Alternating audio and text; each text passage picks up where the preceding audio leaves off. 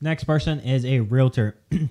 Realtors are super important to this, right? And the reason for this is because, you know, maybe they won't really help you find the deals, but what they can do is actually help you get a good renter or get, get a good tenant in there and help advise you about what's going on in the market.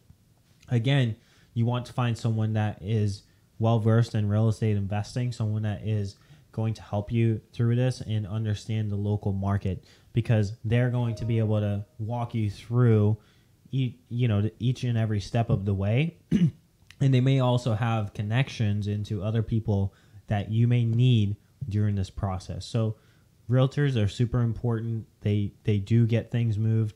Um, finding a good realtor is really important but find one that has real estate investing experience because that's important. They they need to understand what you're doing and why you're doing it so that they don't just advise you just to sell the property or they don't advise you just to say hey that's not a good idea when in fact like they truly don't understand real estate investing. And i will tell you like 99% of realtors will tell you that they understand real estate investing but they gen- they don't. They haven't invested in real estate. Most of them don't own properties.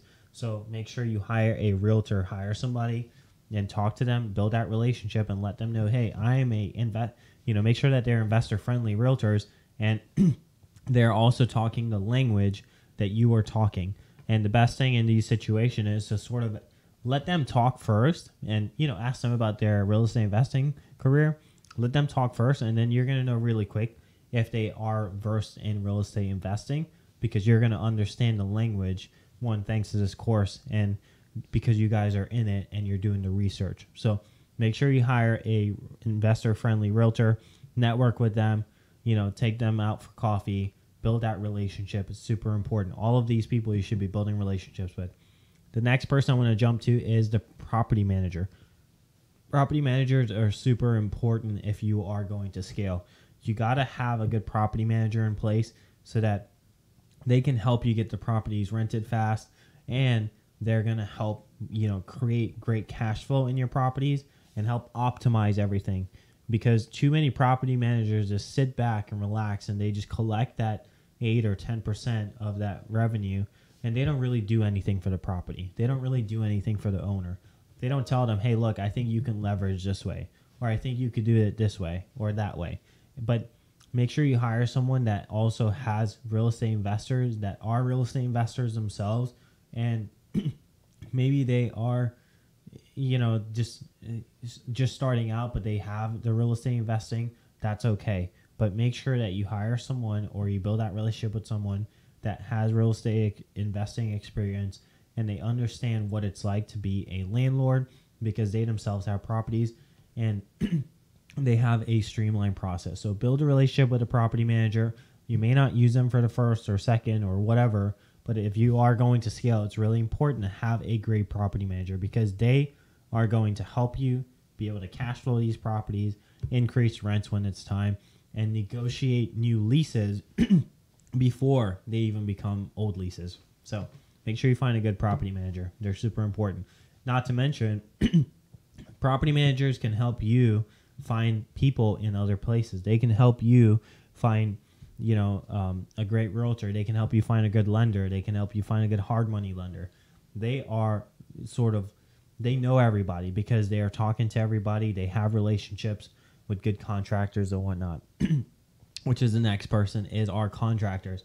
Contractors are really important. Having a good contractor will make or break your project, and I I don't say that lightly because if you don't have a good contractor, they're going to be late. They're going to you know have overages, and they're really not going to help you optimize your property. They're not going to help you optimize your property to get it to the point where it looks great, feels great, and it's good quality.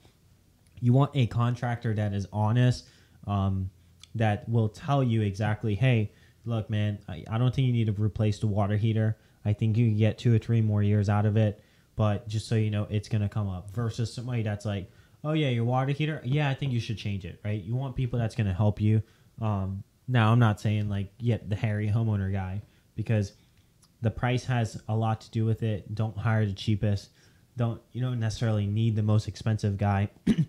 but one of the stories I was told by a uh, by my cabinet guy actually was you know, he's like cry once, and what that means is essentially sometimes you pay you have to pay the money that you really don't want to pay to get the project done, and that's okay. Cry once, but if you have to cry twice, like don't cry twice because you you the first guy messed up, the cheap guy, so you're crying because you're late on the project, and then you still have to go pay the good guy to get it done, and you cry twice. So make sure that you don't cry twice, cry once, pay the money, pay pay them what they're worth, and get the job done the the correct the first time around.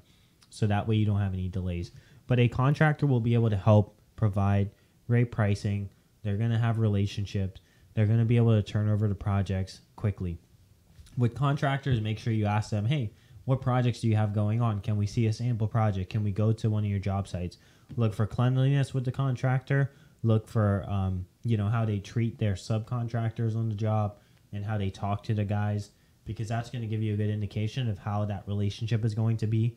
Um, you know, always look at people and see how they do business because, you know, I always say people can fake it for the first hour, but after that, there's no much, n- not much you can do to fake it, right? So, you know, hang out with them a little bit more, get to know them, and see what they're like, and and you can really tell who a good contractor is.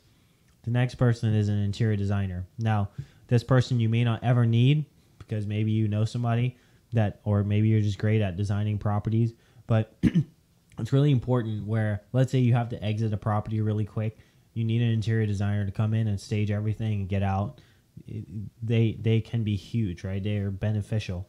Or maybe you're doing a um, midterm rental with your BRRRR, right? You want someone that's going to stage the place make it look nice for not a lot of money. You don't want someone that only picks designer brands. You want someone that's crafty that knows where the local you know furniture shops are know where when the staging companies are selling uh, products. Know when you know hey this store has sales every thursday or whatever you want that person. You need that person that's going to help you really do things right and look make it look good that is good quality as well as like a great looking product. The next person is an architect. Architect is super important. Like i said before you may not need an architect on every single project depending on where you're located but an architect is super important to have because they will help you get out of situations when you need to. A lot of times you buy these properties and they already have issues with it that is related to permitting and architectural drawings. So you want someone that is that is going to be really good to help you through that process that understands that local um, ordinances and local codes so that you know they can get you out rather quickly. The other thing is with your contractor, your contractor may already have architects that can help you, or they may be, be able to do the drawings for you. the other thing too is with with these people, you can have multiple in each category, right? And it's important to have multiple because let's say you know you only have one architect and your ar- architect is on vacation and you need something well you need to have another architect that you can go to the other thing too with architects and people that are professionals you should have I was told this about, about lawyers, and I think it's the same thing about architects, but have a country lawyer and have a city lawyer. And what that means is, you know, when I say that is have a city architect and then have a country architect. Have have a city architect that does the big bad plans for you to get everything done, get every get the majority of stuff approved and do the entire building and whatnot. You may want a great architect on that that thinks through everything. But if you just need a detail submitted for a bathroom or something, then you can just go to your country architect, the guy that knows how to do CAD, that can get your detail drawn up rather quickly for a lot less cost than a city architect, right? So have different types of architects, have different calibers of people because they're going to be really helpful in getting your projects done. So remember, you want a good mentor, a good partner, a great lender, hard money lender, and a regular lender. Uh, not, not just a hard money lender, but a lender that does non QM products.